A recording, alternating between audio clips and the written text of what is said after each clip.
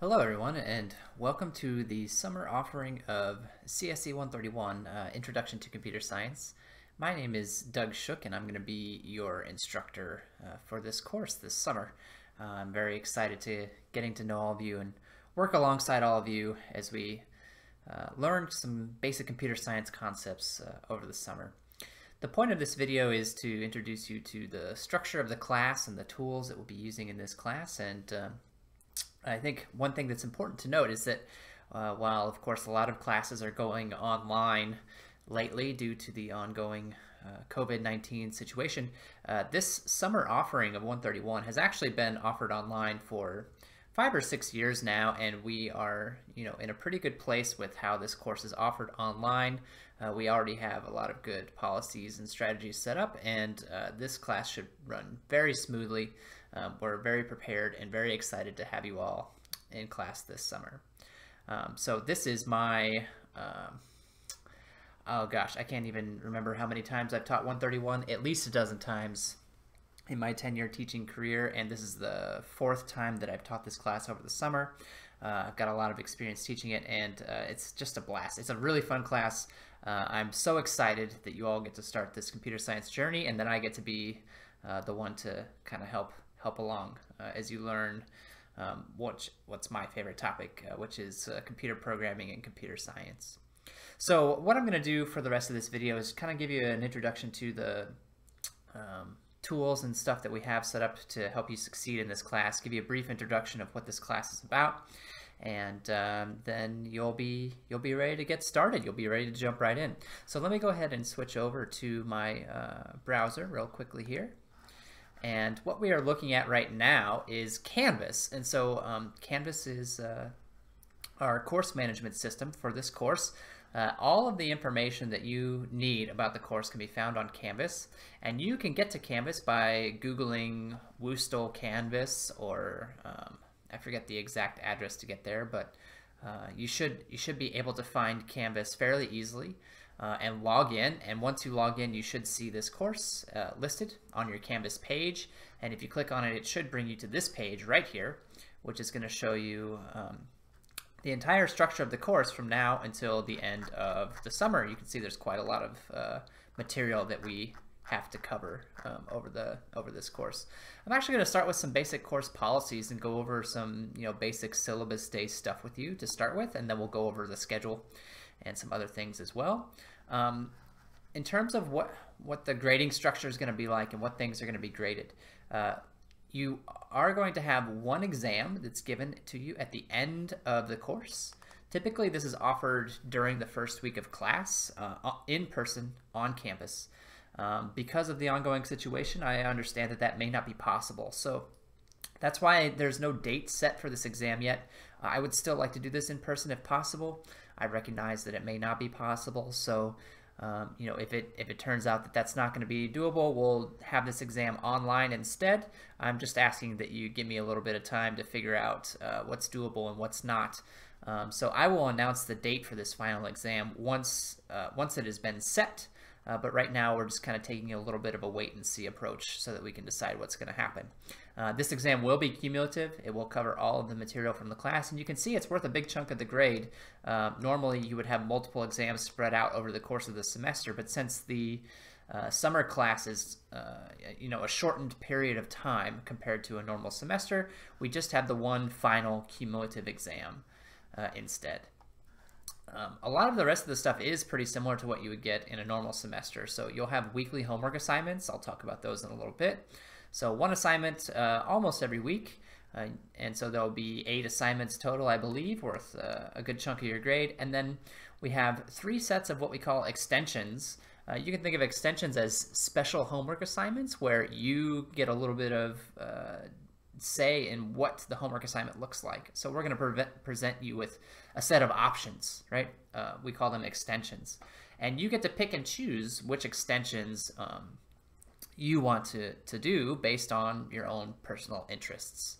So this is a way to let you kind of customize the course and, and learn about uh, computer science in a way that you know makes most sense with your own personal interests, your own personal desires.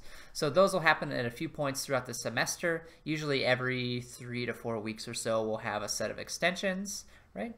Uh, and so you can see that those are also worth a significant chunk of your grade. Uh, studios are in-class assignments. So, so, you'll be doing these in class. I'll talk about the meeting times and, and stuff in just a little bit. Uh, you'll be working on these in class in small groups with three to four people per group. Uh, these will also be held weekly right? And so um, you can see that uh, they're worth a smaller portion of your grade. And studios really, we aren't, we don't expect you to complete them. We don't even necessarily expect you to get them 100% correct. We just expect you to show up and participate for the entire 80-minute class period. That is how you get credit for the studio. So at the end of that 80-minute class period, whether you completed the studio or you didn't complete the studio, as long as you gave it your best effort, and tried for the entire time, you will get credit uh, just for showing up and participating. Um, it's a good way to get to talk to your classmates and work together as a group. Uh, since things like assignments and extensions are done individually, studios are a way for you to have discussions with your classmates uh, and work together in, in small groups to complete a goal. There will be weekly quizzes uh, as well. Quizzes are usually due one week after the homework assignment that they are about. So um, if you submit homework one on Tuesday, uh, the quiz for homework one will be due the following Tuesday.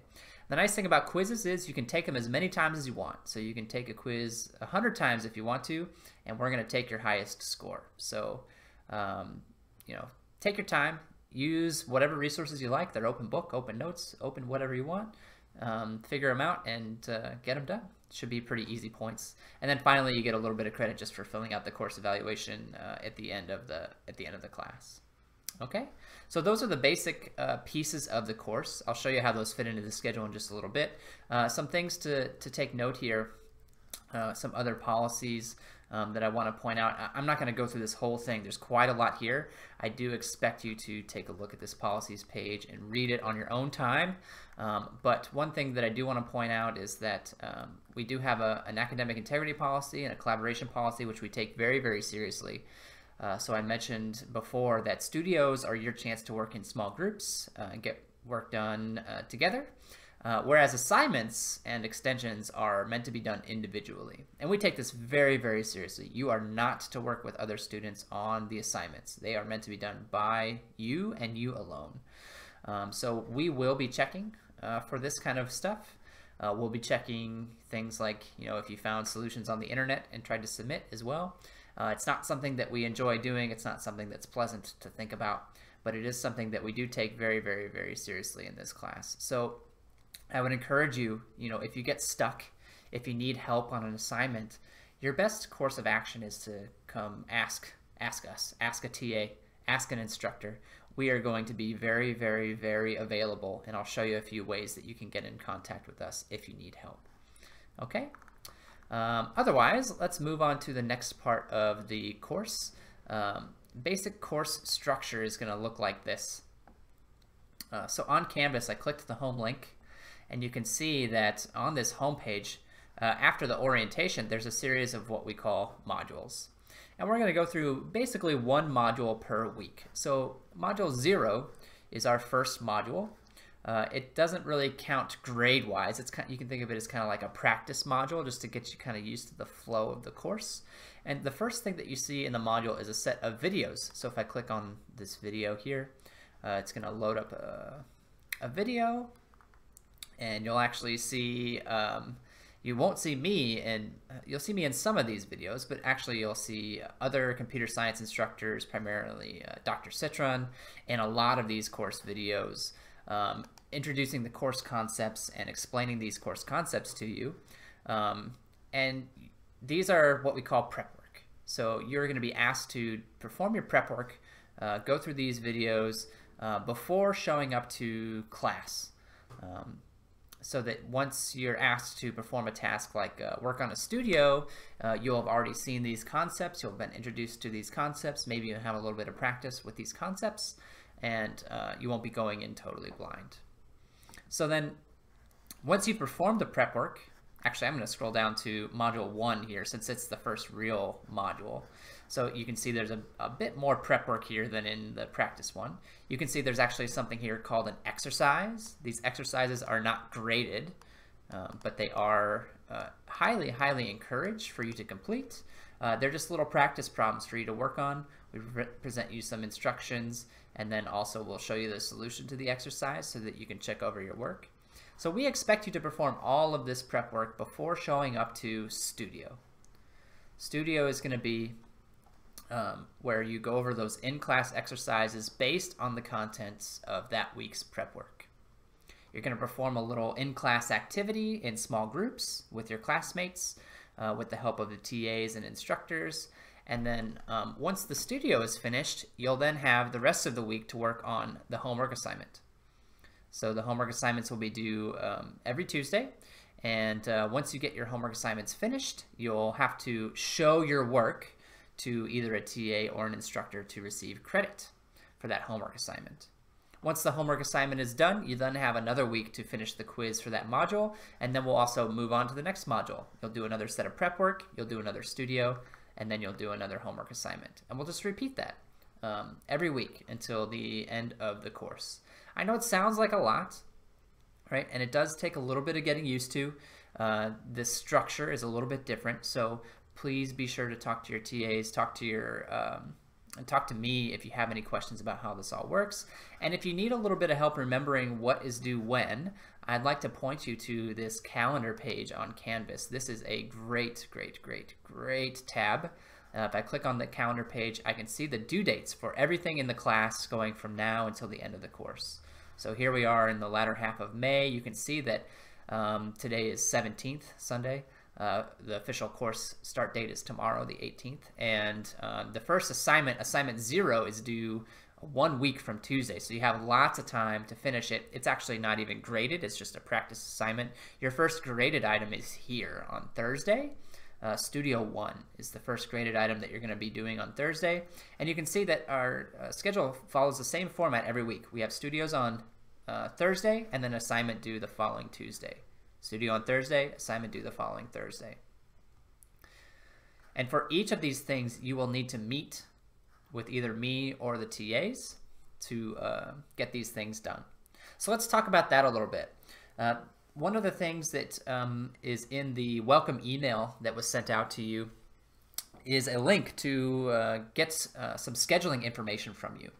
Uh, you notice that when you sign up for this class, there was no times listed for this class. That's because uh, you are going to be assigned to work with a TA.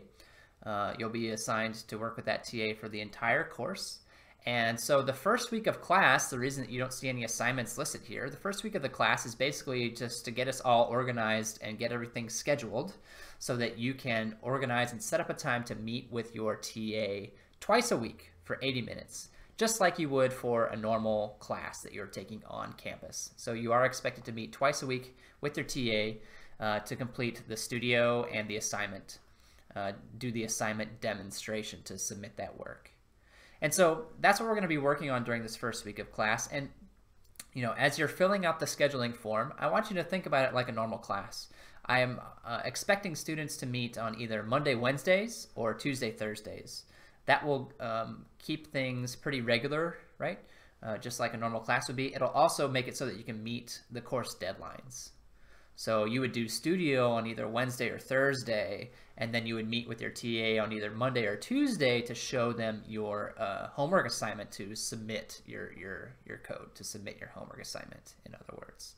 Um, so that is kind of what I would like you to think about as you fill out that scheduling form to let us know, um, you know, when you'll be able to meet um, don't hesitate to put down meeting times in the evenings. Those are actually very popular meeting times. Uh, if you can meet in the mornings, put those down. Mornings are a little bit more difficult, I've found in practice, but there's uh, usually at least one or two TAs who are willing to pick up morning hours. Afternoons and evenings are very popular. And again, I would encourage you to meet on Mondays, Wednesdays, and Tuesdays and Thursdays, um, if at all possible, because that's what's going to work best for the uh, ongoing course uh, schedule. Okay? Um, all right, let's see. What's next on the agenda to talk about here? I'm going to go back to the home page real quick. And uh, you can see that I offer office hours. Uh, here are my office hours uh, from noon to 2. This is Central Time. I should update this to say Central Time. Um, here's my Zoom link to meet with me. I'll just log on from at noon on Tuesdays and Thursdays for office hours. And if you want to come, hit this link and you can ask me any questions you want about homework assignments, about anything you need. I'll also be popping into your um, meetings with your TAs as well during studio time and lab times. Um, I, well, I'm going to try to make it to as many as I can. Uh, obviously, there are a lot of students in this class. It may not be possible for me to make it to every single meeting, but I'm going to do the best that I can uh, to get there. Um, let's see, what else? So let's talk about how to communicate with us outside of class time. So you're going to set up meeting times to talk to your TAs on a regular basis, twice a week. I've got office hours that you can use to talk to me if you have questions uh, to, to ask me. And then Slack is another uh, tool that we'll use to communicate, especially outside of class hours. So I've actually already got the Slack page open. Uh, you're going to be receiving an invitation to this Slack channel. It's it's basically just a chat room. Uh, so I, here I am in the chat room right now. I can type in a quick little message. Uh, right? And um, so here in the general channel, this is a good place to ask questions about course policies or anything like that um, that you uh, are interested in uh, in regards to the course. Uh, over here on the left, you'll see a bunch of channels. And right now, there's not a ton of channels, but eventually, uh, we will set up a channel that is uh, specifically for your group. So for the, the group that is assigned to your TA, the group of three to four students who you'll be working with um, over the course of this semester. So if you want to talk to your TA outside of class hours, that's a good way to uh, reach out to them outside of class time. Okay? Uh, this is, in my opinion, much better than email. I, I think you'll get a faster response from myself and the TAs uh, by using Slack. Um, over email. And uh, in addition, if you need to talk to me about something private, about something personal, um, you don't have to post it in a public channel. You can uh, message me directly and it will just uh, be private between you and me. So if you have grading concerns or some other personal concerns, you can just send me a direct message. Um, that is a much better way to contact me um, than email. I would, I would much prefer all course communications go through Slack. Uh, I will check my email and answer my email, of course, but uh, this is the preferred way of communication. Okay, so let's wrap up real quick by just talking about you know how to succeed in this course, how to do well in this class. You can actually see that uh, this is one of the topics of the videos that we're going to ask you to watch, right? Uh, but we really want you to be curious. We want you to be uh, willing to get in and experiment and struggle a little bit, right? Uh, these are not the kinds of problems that you are going to sit down and get correct on the first try. That is not the expectation here. Uh, we expect you to get stuck. We expect you to struggle. We expect you to need some help. Um, so, you know, the students who do well in this course are the students who are going to recognize that these things are going to happen and are willing to come ask for help and get a push in the right direction when they need it. Um, so, don't be afraid to ask for help. Don't be afraid to look things up online. Uh, Google is your friend. If you if you need some additional information about a particular topic, don't be afraid to look it up. That is totally okay. What's not okay is Googling, you know, how to solve the first homework assignment. Obviously, that's over the line. So, you know, conceptual Googling, totally fine um, Googling how to solve a particular problem is getting into territory that I think I would caution you against for academic integrity purposes. And so now going forward, what should you be doing? So this week, uh, we need you to fill out that scheduling form, which is in the welcome email that I sent out to you, right? So that's a, a very important task. I'm asking that you get that completed by Wednesday morning. So please fill that out as soon as possible. You can do it right now. It'll take you a few minutes, right? Let us know when you'll be able to meet. Um, Wednesday afternoon or so, I'm hoping to have you assigned to your TA. So I'm hoping that everybody will know what TA they're assigned to work with by Wednesday afternoon. That gives you almost an entire week. Uh, actually, it does give you an entire week, uh, basically, to figure out between you and your TA when you're going to meet so that uh, the following week you can start meeting on that regular schedule.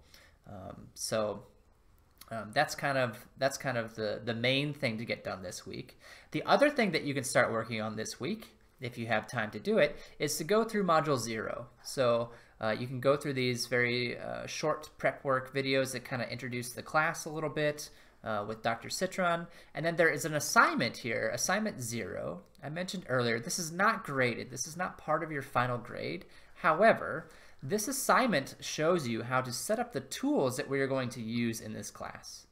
So we're going to be using a programming language called Java. And this assignment zero shows you how to install Java on your computer so that you can use it. We're also going to be using a tool called Eclipse. Eclipse is what we call um, an IDE, an Integrated Development Environment. So this these instructions also show you how to install Eclipse and get Eclipse up and running on your computer. We're also going to be using a website called GitHub. GitHub is a nice way to distribute code. So if we want to give you some code to work on for a homework assignment, we're going to post it on GitHub and you're going to access it that way. So assignment zero shows you you know, how to access code on GitHub and get it on your computer so that you can complete the homework assignments. So um, going through assignment zero is going to get you set up with everything that you need to get started on this class.